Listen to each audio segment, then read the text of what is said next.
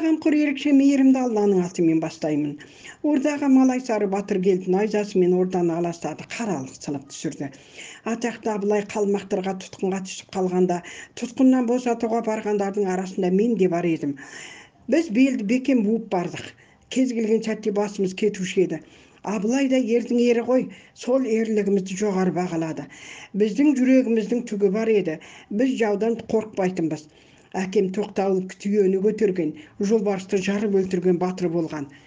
Қарындасым гауһардың да ат үстінен түспегенін жақсы білесіңдер. Ата дәстүріне сыза түсірген жеріміз жоқ. Тек халықты ойладық. Қазақ жерін қазаққа қалдыру үшін жан қидық. Атақты шоқан суреттеген алтын емелде сүйегім қалды. Қанды шайқаста қаза тауып халқым үшін шейіт болдым. Әр қазаққа керегі де осы. Отбасы ошақ қасынан ұзамай өмір сүріп жатқан қазақтардан түңіліп кетеміз кейде. Қанымызды не үшін кім үшін судай ағыздық еркек тоқты құрбандық қай заманда да болу керек? Өзіңнің не еркек не әйел екеніңді білмейтін заманға кез болдыңдар. Тарихқа көз жіберіп ойлану керек қой. Тозған қазы топтанған қарғалады деген сөз де бар емес пе? Көзіңді аш қазақ. Әйтпесе ұстағанның уысында тістегеннің тісінде кетерсің деп кетті малайсары батыр. Бірінші көрген көріністе екі қара қоныс егіз сияқты. Сондай шапшаңдықпен сондай жылдамдықпен суда да жерде де жүргенін көрсетті. Енді сондай жылдамдықта ә, сол келген үнде ә, ауру тарататын қоңыздар деп осындай. Содан кейін көрсеткені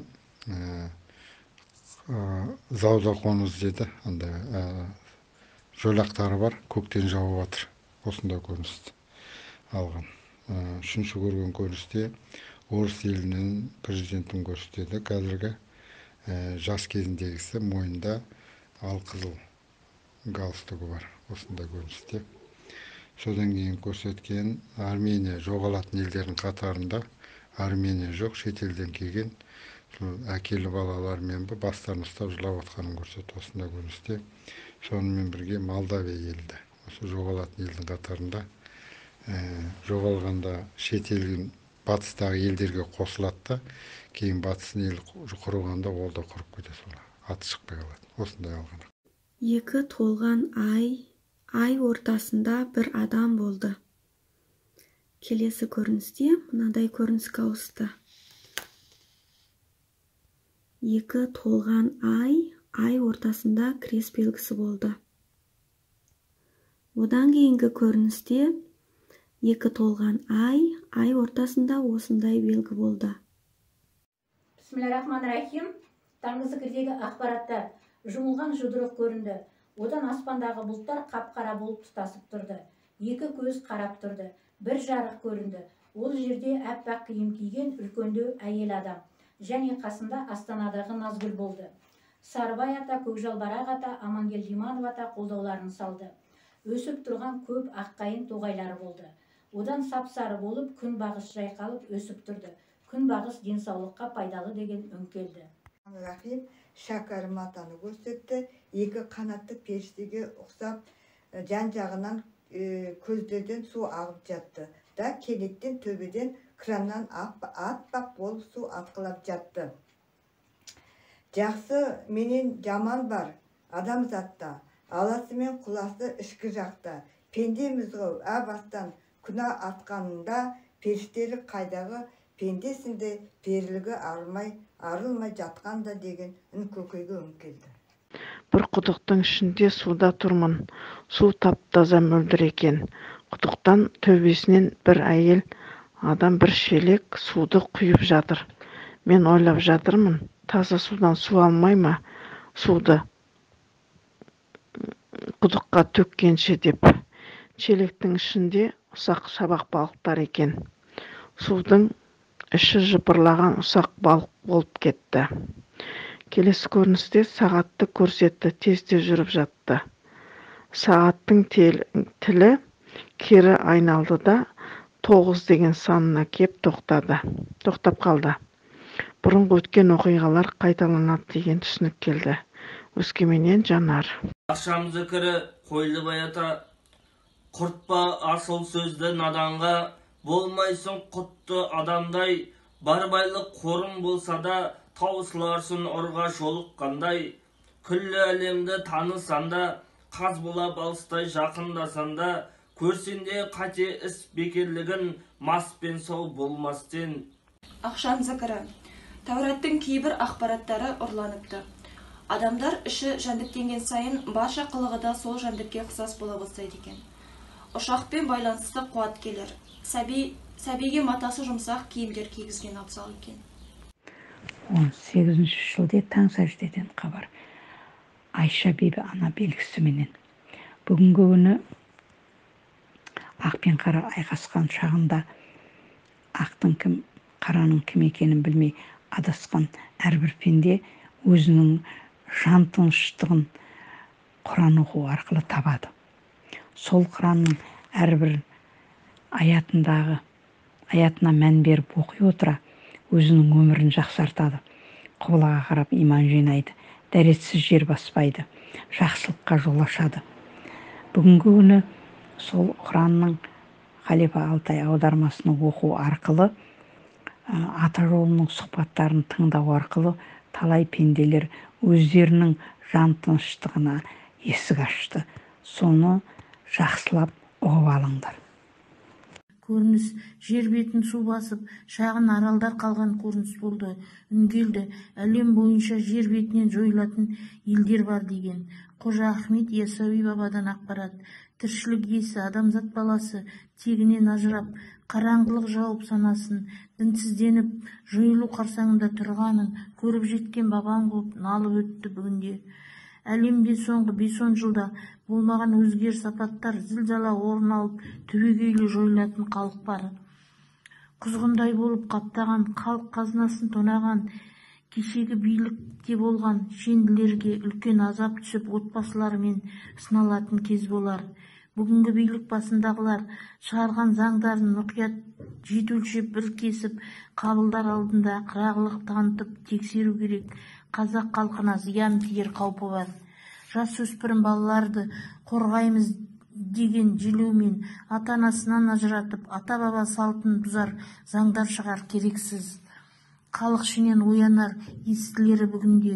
Талап етіп биліктен ата заңды жеті жарғыны қабылдатып қазақ көзін ашар кез болар. Жер ананың толқуы болып жер сілкініс орын алар таулы елді мекендерде. Ресей елінде шикізат өнімдерінің тапшылығынан көптеген өндірістер жабылып қиналатын халық бар.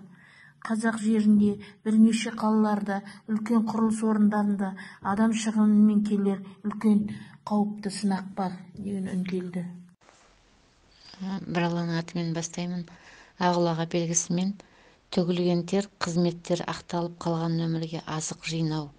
Мәреге жетер күн алыс емес. Әр сөз қуат қосуда. Жандар көбейіп жүрекке тыныштық келер деп келді. Өмірге келіп жатқан нәрестелер түрлі түсті айналадағы құбылыстан қорқыныш кіріп аутизм дерттеріне себеп болуда. Қара күштер шабуылына тойтарыс берер күш жоқ. Ол үшін ата анасына жүктелген аманат аяқ асты болуда деп келді. Ауада ағаш кеме кетіп бара жатты су төменде жатты. Назарбаев ұшағына сынып тұр деп келді. Бүгін ә, зікірде бүйрекке дем түсіп қыздырды.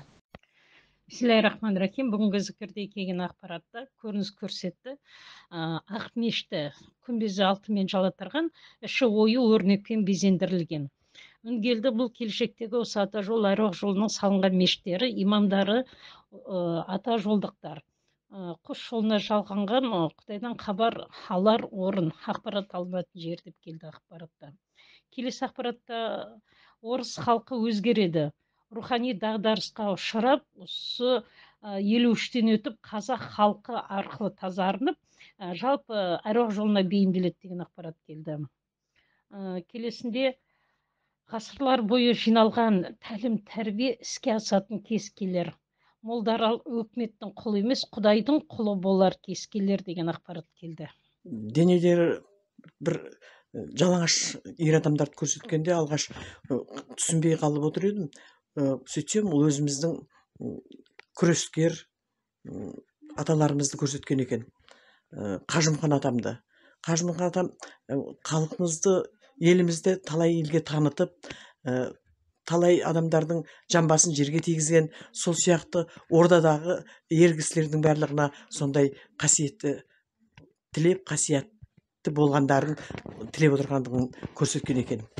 Оның кейін көрген тағы бір неғымда қарасай баба атқа бір жамбасынан отырып сондай ырзашылықпенен бізге қарап отырған несін көрдім. Онан кейін бұл жерде біздің ордадағы аралап зират жасап барып қайтқан жерлеріміздің барлығы москваны қорғаған еді ғой. Елдің барлығы москваны бермейміз. Москва біздің кәдімгі астанамыз әлемнің бәрі бәрі бағынып отырған деген сияқты. Ал сендердің астаналарың әрбір барған жерлердің де кәдімгі москваның суретін көрсетіп барған жердің барлығы бес ата райымбек атаның өзі әлмерек атаның басы осы осы барлық барған жеріміздің барлығы сол москваны қорғағандай күш қуатпенен бізге ата жолдықтарға күш қуат қосып жатқанын көрсетті. Сондай қорғаныстағы қасиет сендерге берілді. Бір ғана жерде емес бәр бір бір атаның өзі бір бір москваға тұрарлық. Соны ұмытпаңдар деп ескертіп айтқандай болды. Одан кейін отырған аналардың барлығының артында домбыра тартылып күйіне алған кезде шырылдап аналары тұрды. Осылардың барлықтарының жүрегі ашылып көздері ашылып сөйлеп біліп тұрса да соны қалай айтып келтіретінін білмей отырғандарға айтып көрсету керек көрсе білетіндерің айтуларың керек деп мен көзім ашылып отырып көзімнен жас парлап ағып отырғанын көрдім. Ата жолында деген жүректерінде халықтың қуаныш көрген сайын ризашылық дегеннің оянып жатқаны көрініп тұр. Көргенімнің өзін құрастырып айта алмаймын. Сол қуаныштың бәрін осы ата жолға келгелі бері көріп жатырмын. Бұдан бұрын да талай көріп бірдеңені жазып қойғанда да ештеңені түсінбейтін едім. Қазір сол түсінгендерімнің барлығының түсіндіріп айтқандардың бәрін соншалықты жетелеп жүрген бәріміздің ата бабаларымызға мың да бір рахмет алла осы жолға әкеліп түсіргеніне тәубе шүкір деймін. Саурық батыр баба ордасы биікке көріне берсін. Ордаға бөгенбай батыр келді найзасымен орданы аластады қаралық сынып түсірді. Қиын қыстау заманда әйел мен бала шаға қариялар еркек кіндіктілерге арқа сүйейді. Өйткені табағына ас салып жаудан қорғайтындар да сол еркек кіндіктілер болмақ. Бұрынғылар сынақтан өтті. Бірен саран бұра тартқан қорқақ ту жүректен басқалары халық сенімін ақтады. Менің өзім қартайғанша ат үстінен түскенім жоқ. Бес қаруымды асынып сақадай сай тұрдым. Сөйткен қазақтардың бүгінгі ұрпағы қандай? Елім деп еңірей ме? Етек жасқа тола ма? Ұл балаға көңіл толмайды бүгінде. Шетінен ойын баққан қолынан құрылғысы түспейтін тамақтан басқаны ойламайтын тоғышарлар өсіп жатыр. Тек өз басының қамын ғана ойлайтын қара тобырлар қаптап жүр. Тілі де қарабайыр өз атасының сөзін дұрыстап ұқпайтын мәңгүрт жандардан қандай жақсылық күтуші ең дене бітімі де ұсақталған қазақи намысы жоқ. Жігіттерді жігіт емес мігіт дейді. Мұндай мігіттер сені қорғай ала ма? Ата баба дәстүріңнен ажырағанның бодауы осы болмақ деп кетті бөгенбай батыр. Сікірден алынған ақпарат әйел адамның жамбас құйымшақ сүйектері және ішкі құрылысы аппақ ақ нұрға толып тұрды бір адамның қолында қанаты бар кішкентай нәресте ұл бала болды. Бұл адам бұл баланы екінші адамға берді. Екінші адамнан және үшінші адамның қолына өтті. Адам өз тегіндегі артықшылықты қасиетті ояту керек. Және оны сәулелендіру керек. Қан зікірі марияманы қара қойдан қан шалса кенелер талай іс сауал. Мұңға жуып қоспа шаруа керек десең жауап артып қырдан құлағаны жаралы басар жараннан жалғанын бағдаршам кетпесін түсі бояу келмес қайтып түскен қолға. Таң зікірі көк пен жер тұрғындары таң азандағы нұрға бөленгенде раббыңды дәріптегейсің тұлпардан дүлдүл туар атағы жер жаһанды қуар. Қобызын шерткен қу бақсыдай дала күңіренер талайлы сызат түскен жерді қопсыту арқылы ғана таза бордай қуатына енер. Африкада жүрсе де іші қазақ болса елді аңсар елге тартылар. Зікір басталғанда ә, бір флажок көрсетті одан кейін ә, кигіз үйдің шаңырағын көрсетті. Екі ай туып тұрды. Біреу екеуі қарама қарсы сонда екеуі бірігіп х әрпін құрып тұрды. Ана теңізде үлкен бір үлкен бір кіші қайықтар жүзіп жүрді. Келесі көріністе жаңадан салынып жатқан кремль мен москваны көрсетті. Көріністе жарқанаттың қанаты сияқты қара киімдегі бетінде қара бет пердесі бар әйел адам көрінді. Басындағы киген киімі басына тікірейген құлақ сияқтысы бар. Келесі көріністе биік таудың үстінде бір ер адам үстінде барқыт жасыл тон, тон басында түлкі тымағы болды. Ол менің бауырым. Бір бүркіттің баласын ұшырып үйретіп жүр екен. Бүркіттің баласының аяғында ұзын жіп байлаулы болды. Келесі көріністе мүгедектер арбасында бір әйел адам отыр. Аузын ақ дәкемен таңып тастаған. Ол әйел маған бірдеңе айтқысы кеп кеңсеңдеп көзі мөлтілдеп тұрды. Біреу арбаны ары қарай сүйретіп алып кетті. Келесі көріністе ат арба жеккен адам келе жатыр. Арбаның іші толған жасыл шөп. Ана адам арбада шөпке жантайып өзіне өзі риза болып келе жатқандай болды. Бисмиллахи рахман рахим зікірден алынған ақпараттар. Бірінші ақпаратта ашылып тұрған құран кәрім көрінді. Соңынан діңгегі ұзын әрі жіңішке ағашқа айналды. Келесі ақпаратта жол көрінді. Жолдың екі шетінде жасыл ағаштар жоғарыда. Ұзақтау жерде мешіттің күмбездері және ай белгісі көрінді. Сәл төмен жағында христиандардың шіркеуі сияқты көрінді және де христиандардың крест белгісі көрінді. Соңынан төмендеу жағында басқа да діндердің таңбалары белгілері көрінді. Сосын алдағы уақытта көптеген діндер бір жерге қосылып соңында ислам дініне тұрақтайтын деген мағынада ақпарат келді. Келесі ақпаратта жабылып тұрған кітап көрінді. Қалың кітап. Кітаптың ішіндегі беттері парақтары аппақ ештеңе жазылмаған. Ол болашақта мен жазатын кітап екен. Әлі ешқандай жазу жазылмаған. Келесі көріністе қой малды қамайтын қора көрінді. Қора далаға орналасқан шарбақтармен қоршалған. Қораның аузы үшбұрыш пирамида сияқты екен. Сол қораның аузы үшбұрыш болып жасалу керек екен негізінде. Сол қораның аузынан бірінші түйе сыртқа қарай шықты. Соңынан көптеген қойлар сыртқа қарай шығып жатқан көрініс болды.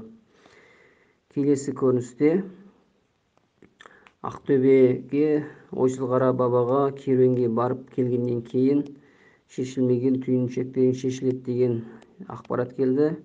Одан келесі көрініс келесі ақпаратта кей жерде кәрі қыз дейді кей жерде ошаған дейді.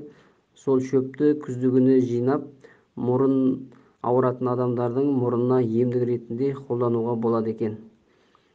Ә, бүгін жаңағы домбыраның күйі тартылған кезде ә, айда айға бұлт ә, қара бұлттар айды жаппақшы болды сол сәтте жеті түрлі құстар жеті түрлі құс домбыраның күйіне тол жаңағы билеп толқып жаңағы толқып билеп билеп тұрды сол билеген сәтте жаңағы жеті түрлі ә, жаңағы кемпір қосақ дейді ғой жеті түрлі ә, түске боялып соңғы сегізінші түс нұр болып сары нұр сол бұлтты жарып өтіп ай, айдың бетін жарқыратты. Және ә, арттан үлкен екі алып қол ә, қол шығып жаңағы бұлттардың арасынан екі қол шығып ақ домбыраны ә, жаңағы ә, күйді ақ домбырамен күйді шерткен кезде жер беті ағара бастады шөптер жандана бастады. Табиғат қайтадан жаңару ә, жаңағы ә, өлген ә, топырақ өлген шөптер қайтадан жанданып бір өз ә, күштері қайтадан құйыла бастады алладан күш құйыла бастады нұр құйыла бастады. Ә, қазір ә, көптеген ауру сырқаудың бәрі мына адамдардың бойындағы жаман энергияның бәрі жерге сіңіп жер қара жеріміз құнарсыздана бастағандықтан ә, жаңағы шөптерді жердің бетіне шыққан барлық шөптерде ә, ден иіс иіс шыға бастады. Сол иістер енді ә, адамдарға әсер етіп жаңағы өз иістері өздеріне әсер етіп ә, жаңа аллергия деген аурулар ә, сезонный аллергия деп айтады ғой кейбіреулер қазір. Солмен ауырып жатқандар сол жаңа жердегі ә, өз жердегі иіске ә, шөптерден шыққан иістер ол жаңа адамдардың өздерінің энергиясынан шыққан иістер болып сол иіске өздері тұншығып жатты. Соны мына қазақтың кең даласында ә, домбыраның күйінен құдіретінен жердегі топырақтар гүлдер ә, жаңағы қайтадан жаңарып қайтадан өздерінің таза құлпырған иістеріне ә, қайта келе бастады. Сол жердің ағаруы болып жатыр қазір. Ә, дүние жүзіндегі ә, барлық халықтың жүректеріне жүректеріне тек алланың ақ нұры құйылып ә, мейірімділік құйылып ә, өздерінің ата бабалары өздерінің әруақтары қолдап түс аянға жалғану ақпарат жүректерінен өз ақындық жаңа ақындықтары яғни іштегі ә, мұң шерлерін таратып туған туыстарымен бөлісіп қыдыр ә, жаңағы қыдырып бір біріне жылы сөздер айту ә, мейірімділік сал мейірімділікпен арқасында ә, көптеген ауруларды жеңуге болатынын көрсетті. Ордаға қалқай ишан келіп таяғымен орданы аластады қаралық сылып түсірді мына дүние жалған қазақ мұны үш күндік жалған өмір дейді сол үш күндік жалған өмір сүрген пенде қандай күйде нағыз өмірге аттанбақ қандай алғыс қандай қарғыс алдың? Өзің айтқандай жүрегің тап таза ма ешкімге қиянат жасаған жоқсың ба? Біреуге зорлығың мен қорлығың өтіп кеткен жоқ па? Жанұяңда қандай болдың? Алланың парызын өтедің бе? Міне осындай толып жатқан жауаптар сені күтіп тұр алда. Сол үшін саған тазару керек. Тазарудың жолдары бар. Ертеңгі ақиретіңді ойласаң амалдап кіріс. Садақаңды сал құрбаныңды шал. Бес парызыңды өте. Шаман келсе жақсылық жасай бер жасай бер. Әрине сен пайғамбар емессің. Алла тағала сені қателіктен қорғамайды. Ерік өзіңде анық құдайды ойласаң әлі де құтылудың жолы бар. Оңай емес бірақ ертеңгі тозақ отын ойла оның қызуын ойласаң ұйқың шайдай ашылар еді ішкен асың бойыңа батпас еді анық түсінсең дүнияда саған арбауын асыра алмас еді сол үшін де ертеңіңді ойла біз ертеңімізді ойлап әулие дәрежесіне жеттік сен де біз сияқты адамсың ғой деп кетті қалмұханбет ишан алған сарқытжан әділханқызы